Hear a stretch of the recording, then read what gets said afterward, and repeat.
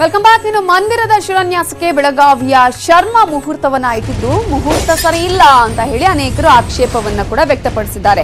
ಮುಹೂರ್ತವನ್ನ ನಿಗದಿಪಡಿಸಿದಂತಹ ವಿದ್ವಾಂಸರಿಗೆ ಬೆದರಿಕೆ ಕರೆಯನ್ನ ಮಾಡಲಾಗಿದೆ. ಮುನ್ನೆಚ್ಚರಿಕೆಯಾಗಿ ವಿಜಯೇಂದ್ರ ಶರ್ಮಾಗೆ ಈಗ ಭದ್ರತೆಯನ್ನ ಒದಗಿಸಲಾಗಿದೆ. ಟಿಳಕವಾಡಿ ಪೊಲೀಸರು ಶರ್ಮಾ ಅವರಿಗೆ ಭದ್ರತೆ ಕೊಟ್ಟಿದ್ದಾರೆ. ಐದು ಮುಹೂರ್ತದಲ್ಲಿ ಒಂದನ್ನ ಆಯ್ಕೆ ಮಾಡಿ ಅಂತ ಹೇಳಿ ಅವರು ಮಾಹಿತಿಯನ್ನ ಕೊಟ್ಟಿದ್ರು. ಆ ಒಂದು ಐದು ಮುಹೂರ್ತಗಳಲ್ಲಿ ಒಂದನ್ನ ಆಯ್ಕೆ ಮಾಡಲಾಗಿದೆ ಅಂತ ಹೇಳಿ ಶರ್ಮಾ ಅವರೇ ಸ್ಪಷ್ಟನೆಯನ್ನ ಕೊಟ್ಟಿದ್ದಾರೆ.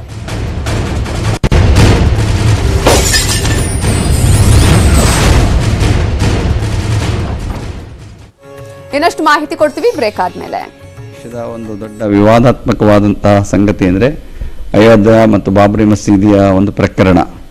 ಇದು ಬಹಳಷ್ಟು ಮಜಲುಗಳನ್ನು, ಹಂತಗಳನ್ನು ದಾಟಿ ಈಗ ಒಂದು ಅಂತಿಮ ಹಂತಕ್ಕೆ ಬಂದಿದೆ.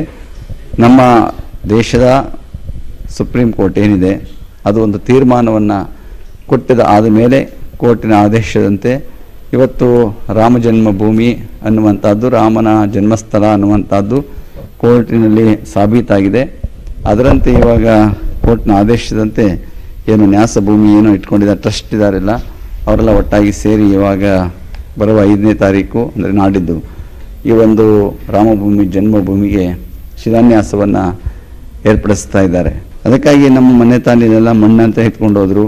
ಕೆಲವರೆಲ್ಲ ಬಂದು ನೀರು, ಜಲ ಮತ್ತು ಮಣ್ಣಿನ ತೆಗೆದುಕೊಂಡೋಗಿ ಆ ಭೂಮಿಯಲ್ಲಿ ಹಾಕಬೇಕು ಅಂತೇಳಿ ಏನೋ ಒಂದು ಅಖಂಡತ್ವವನ್ನು, ಭಾರತೀಯ ಅಖಂಡತ್ವವನ್ನು ಒಂದು ಎಲ್ಲರನ್ನು ಉಡಿಸ್ಬೇಕು ಅನ್ನುವಂಥದ್ದು ಅವರ ಭಾವನೆಯನ್ನು ಇಟ್ಕೊಂಡು ಆ ಒಂದು ಕಾರ್ಯದಲ್ಲಿ ಪ್ರವೃತ್ತರಾಗ್ತಾ ಇದ್ದಾರೆ. ಇದು ನಾಳೆ ನಾಡಿದ್ದು ಅದು ಶಿಲಾನ್ಯಾಸ ಆಗ್ತಾ ಇದೆ. ಆದಷ್ಟು ಇಂಥ ಯಾವುದೇ ವಾತಾವರಣಗಳೆಲ್ಲವೂ ಕೂಡ ಶಾಂತವಾದ ವಾತಾವರಣ ಉಂಟಾಗಲಿ, ತಿಳಿಯಾದ ವಾತಾವರಣ ಉಂಟಾಗಲಿ, ಎಲ್ಲರ ಮನಸ್ಸುಗಳು ಪವಿತ್ರ ಆಗಲಿ, ಪರಸ್ಪರ ಪ್ರೀತಿ ವಿಶ್ವಾಸದಿಂದ ಬದುಕುವಂತಹ ವಾತಾವರಣ ನಿರ್ಮಾಣ ಆಗಬೇಕಾಗ್ತದೆ. ಅಯೋಧ್ಯೆಯಲ್ಲಿ ಶ್ರೀರಾಮ ಮಂದಿರ.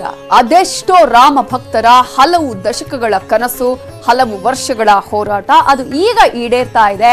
ಆ ಒಂದು ಸಂದರ್ಭ ಹತ್ತಿರವಾಗ್ತಾ ಇದೆ. ಈ ಹಿನ್ನೆಲೆಯಲ್ಲಿ ಅಯೋಧ್ಯೆ ಈಗ ಮಧುವಣಗಿತ್ತಿಯಂತೆ ಸಿಂಗಾರಗೊಂಡಿದೆ. ದೇಶದಲ್ಲಿ ರಾಮ ಮಂದಿರದ ಸಂಭ್ರಮ ಕಾಣಿಸ್ತಾ ಇದೆ. ಶುಭ ಮುಹೂರ್ತಕ್ಕಾಗಿ ಇಡೀ ದೇಶವೇ ಈಗ ಕಾದು ಕುಳಿತಿದೆ ಅದಕ್ಕಾಗಿ ಎಲ್ಲಾ ಸಿದ್ಧತೆಗಳು ಅಯೋಧ್ಯೆಯಲ್ಲಿ ನಡೀತಾ ಇರೋದನ್ನು ಗಮನಿಸಬಹುದು. ಐದು ಸಾವಿರ ಕಳಸಗಳನ್ನ ಕೂಡ ಈಗಾಗಲೇ ರೆಡಿ ಮಾಡಲಾಗಿದೆ. ಆ ಒಂದು ಕಳಸಗಳ ಮೂಲಕ ಸಿಂಗಾರ ಮಾಡುವಂತ ಪ್ರಯತ್ನ.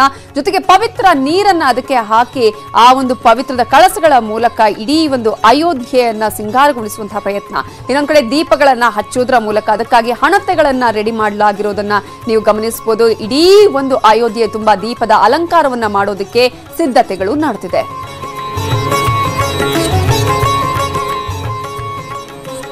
ಹಲವು ದಶಕಗಳ ಹೋರಾಟ, ಹಲವು ದಶಕಗಳ ಕನಸು ಇನ್ನು ಕೆಲವೇ ದಿನಗಳಲ್ಲಿ ನೆರವೇರಲಿರುವಂತಹ ಹಿನ್ನೆಲೆಯಲ್ಲಿ ಎಲ್ಲಾ ರೀತಿಯ ಸಿದ್ಧತೆಗಳನ್ನು ಕೂಡ ಮಾಡಿಕೊಳ್ಳಲಾಗಿದೆ. ಇವಿಷ್ಟು ಹೊತ್ತಿನ ಪ್ರಮುಖ ಸುದ್ದಿ ನೋಡ್ತಾ ಇರಿ ನ್ಯೂಸ್ ಏಟೀನ್ ಕನ್ನಡ ಜಾಲ ನಮ್ಮದು, ಬಲ ನಿಮ್ಮದು.